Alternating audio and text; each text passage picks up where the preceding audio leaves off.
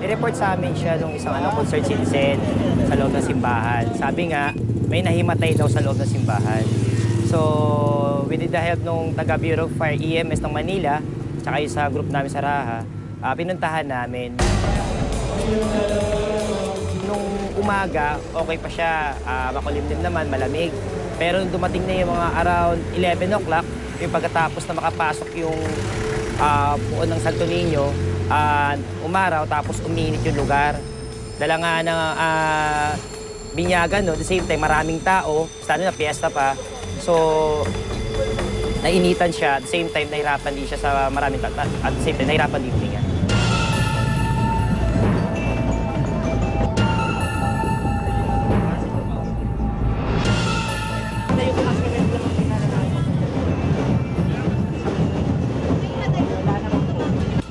Tinawag din naman kagad namin yung doktor ng ano ng City Health para makatulong din namin. Pag-alaman namin through the doctor na bunga ito ng tinatawag na heat exhaustion. So, nag-check kagad kami ng vital signs. Same time, nung nagkamali siya, nahihirapan din siyang huminga.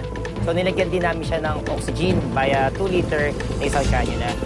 Ano nangyari sa'yo? Nahilo ka ba?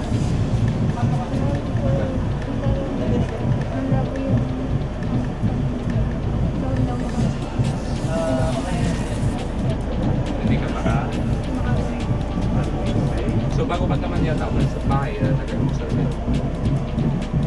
Nandiyan naman yung bata sa mo. Sino ba yung kasama mo? Ang magulang mo?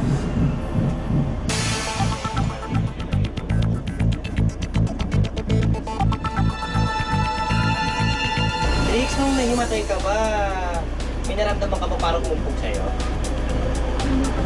Ah, Trix eh. Basta naman. Tingnan natin ha. Pero ano ah, huwag ka lang magalaw ah. So uh, wala kang sakit sa'yo, ano? Balikat, kamay, paa, leg, wala naman. Okay naman. Nagipitas mo naman. ah. Ah, kasama nung bata, yung ano, nanay, tatay at kapatid niya. Ah, dala nga na ng panatanan nila lagi nagsisimba sa tuwing piyesta ng Poon Santo Niño. Bukod sa pag-check natin ng vital signs, ah, nag-check din tayo nung kanyang buong katawan, body assessment, mula ulo hanggang paa. Kalimitan sa mga nahihimatay, maaaring naumpog o kaya naman nabago ang ulo niyan. So, chinek natin yung ulo niya, kung may mga sugat pa. Chinek din natin yung iba pang parte ng katawan niya, kung may mga bali ba o kung ano pa. Kaya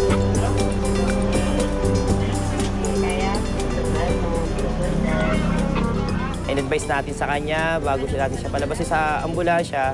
Ah, the usual, ah, baon siya ng tubig pagka pupunta sa maraming tao, kalawa, pamaypay.